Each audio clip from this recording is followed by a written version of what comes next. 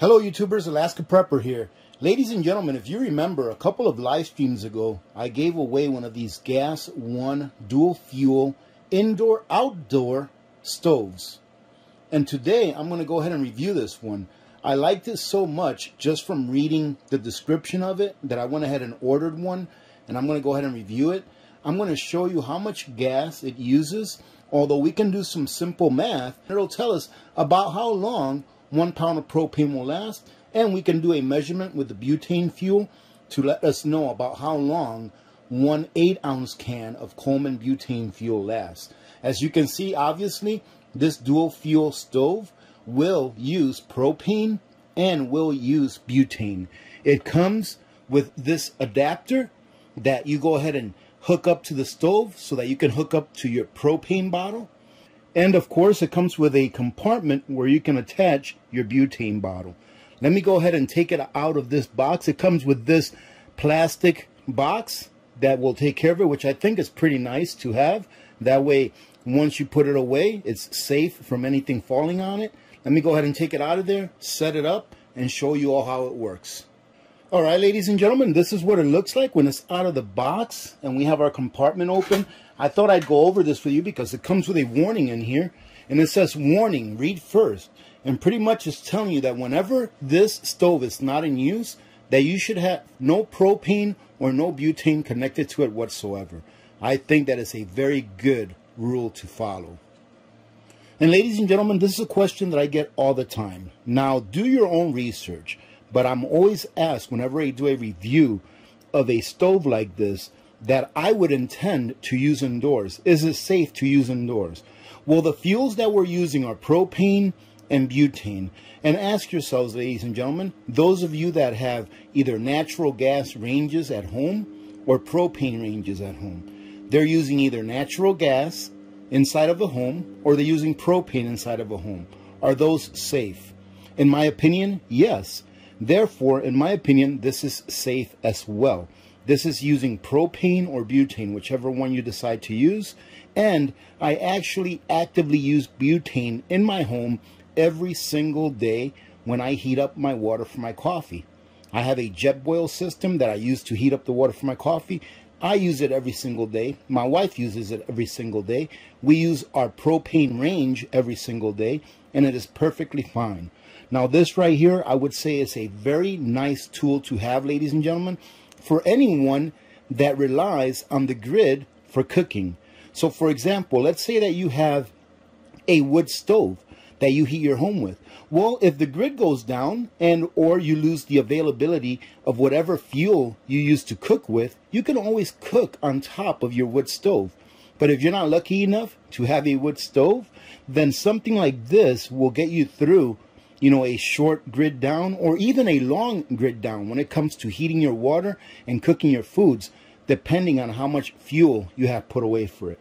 So let me go ahead and show you the inside of this, show you how this works. We'll go ahead and connect the butane first to see how it works with the butane.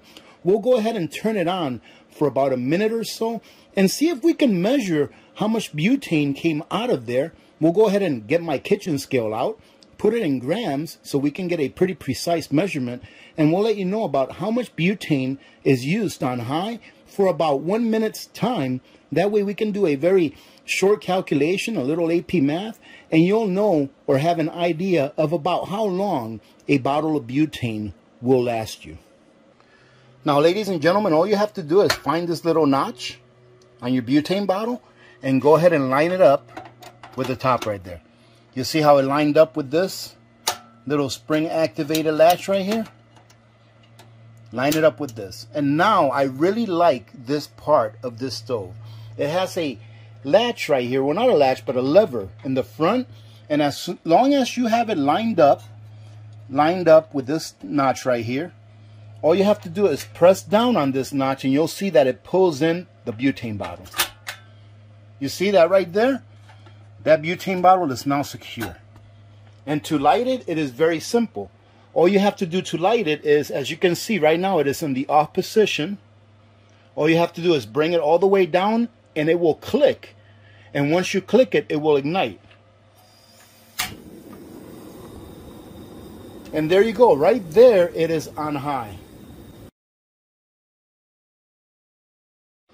And as you can see, you can bring it down very, very low. I really like the control on this because look at how low you can bring it down. Let's see how low we can bring it down until it turns off. Right there, well, right there, it looks at. That's how low we can bring it down in order to have a controlled flame. Let's go ahead and turn it off. It turns off that easily. Let's take off our butane container. Let's weigh it and let's see how many grams of butane it uses in one minute. Now, in order to take it off, all you have to do is take your lever, push it up. It comes right off. Very easy. I really, really like this little setup. All right, well, here we have our kitchen scale. We're going to go ahead and put it on grams. That way we can have a more precise reading. As you can see there, it's on grams and it is zeroed out. Now let's go ahead and put our can in there and we have 354 grams, right? Now let's go ahead and put it back on the stove. Let's turn it on for one full minute, and then we're going to come back and reweigh it and see how many grams of butane it used in one minute.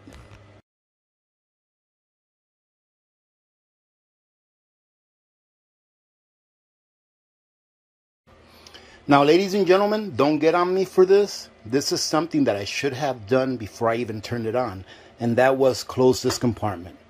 Okay? It was close that compartment. One of the things after reading the instructions that they recommend is that whenever you put a pot or a pan on here, to make sure that the pot or the pan does not go over the compartment. The reason for that is is because if your pot or pan is really hot and it's hot right over this compartment, it can heat up that canister. So make sure that you don't do like I just did and operate this with the compartment open. All right, so let's go ahead and take that bottle out. And I really like this because look, I'm obviously doing this one-handed, right? I'm holding my camera with one hand and then uh, operating this with the other hand. Now, if we all remember, we were at 354 grams when we first started. We ran this for one minute. And now let's go ahead and put it back on there and see where we're at. We are at 349 grams. This used 5 grams of butane in one minute. Well, look at that. Okay, I thought it switched over to 48, but it used 5 grams of butane in one minute. So now all you have to do, ladies and gentlemen, is to figure out exactly how long this bottle will last all you have to do is convert 8.8 .8 ounces to grams, which right there tells you, it tells you 250 grams.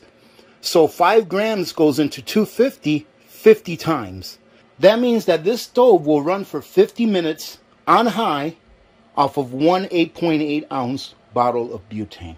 That, ladies and gentlemen, will allow you to know how much butane you want to stock up. If butane is going to be your choice of fuel for this stove. Now let's do the same thing, but with propane. All right, ladies and gentlemen, so as you can see, I straightened out my hose here a little bit. We have to put it through this hole that is back here, right? I already did that. And all we need to do is, I'm going to try to show you a good picture of this, but it's pretty tight in here. So I'm not sure if you'll see me screwing this into where it goes, all right? It's got a little port that you go ahead and screw it into. It's very easy to do. Let me go ahead and screw that in right now.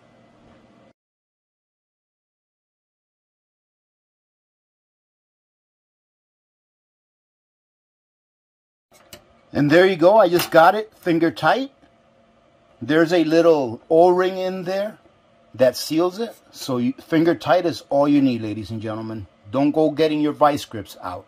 And now let's go ahead and weigh our propane canister prior to attaching it. Let's go ahead and turn our scale on again. We're going to go ahead and leave it in grams. As you can see, this propane canister, when it's full, it has 465 grams of propane in it. All right, so we're going to go ahead and weigh it now. We're going to call it 777 grams. Now let's go ahead and hook up this hose to the bottle.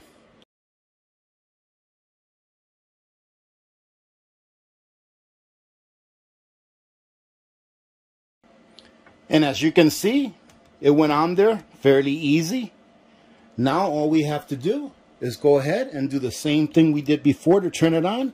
Put it all the way on a high and it's going to click when it gets to the bottom and it should turn on pretty easily.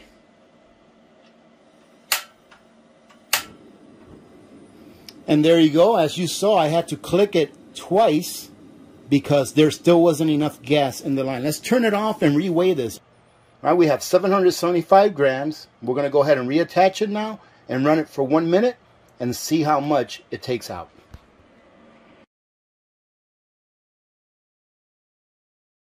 All right, and now we're going to run it for a full minute.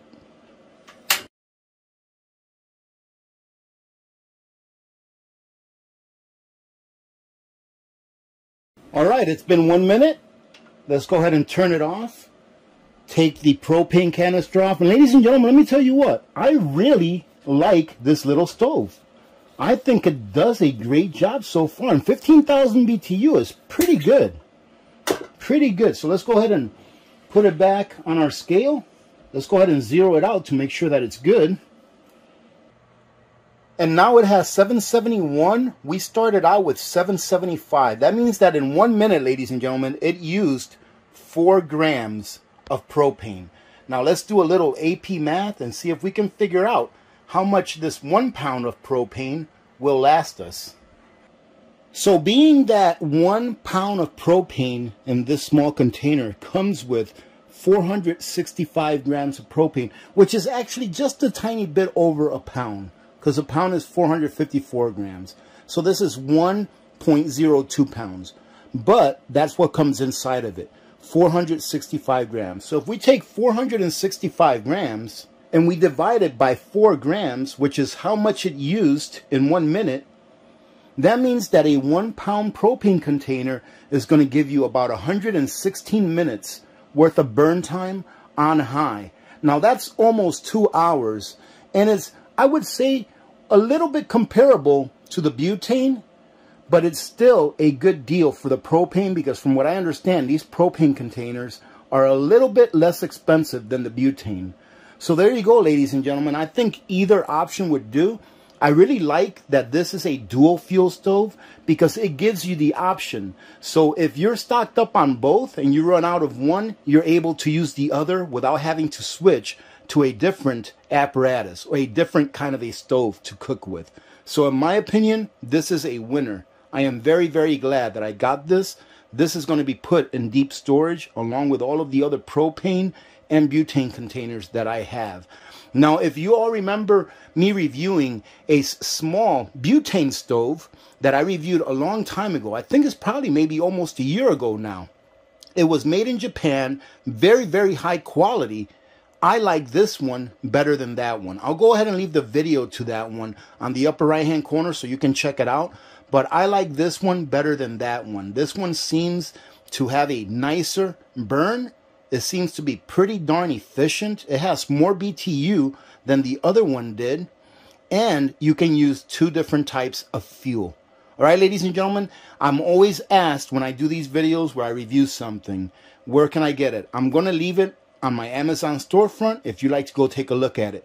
The last time I checked, they were out of these. They were sold out, but they had other models from the same company, which are the same type of stoves, dual fuel, just maybe less BTUs, but I don't know. They might have this one in stock again.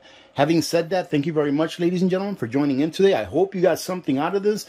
Plan ahead now, ladies and gentlemen, in case you lose access to those things that you need on a regular basis. In this case, if you lost access to your main cooking fuel, this is something that you can have for a backup and then store enough of your fuels that you need to get you through whatever time span you want to be prepared for. Having said that, have a great day. Thank you for joining in today. Remember to be good to each other. When good people do good things, good things happen. Remember to reach one, teach one, and repeat. If we all did this, the world would be a better place, and you know that it will be a better place. Many blessings to all of you and your families. I'm Alaska Prepper. Merry Christmas and I am out. Ladies and gentlemen, Nutrient Survival currently has this awesome little bundle on sale all the way through the end of December. This bundle includes five singles each of the Southwest Medley, Homestyle Scramble, Maple Almond Crunch, hearty cinnamon oatmeal, vitamin eggs, and the nutrient-rich vitamin coffee that you always hear me talk about. And as you can see here, it also includes this retro tin bread box. And the price on this kit, ladies and gentlemen, after you use the AP10 code at checkout, is only about $141. So if you're looking to pick up some singles for yourselves, that way you don't have to open a number 10 can and you can store those for long term, or if you're going to give some as Christmas gifts, or even as stocking stuffers. And remember, ladies and gentlemen, this, in my opinion, is the very best long-term survival food storage there is. There's nothing out there with more nutrients that actually feed your body what it needs. So feed your freedom with Nutrient Survival.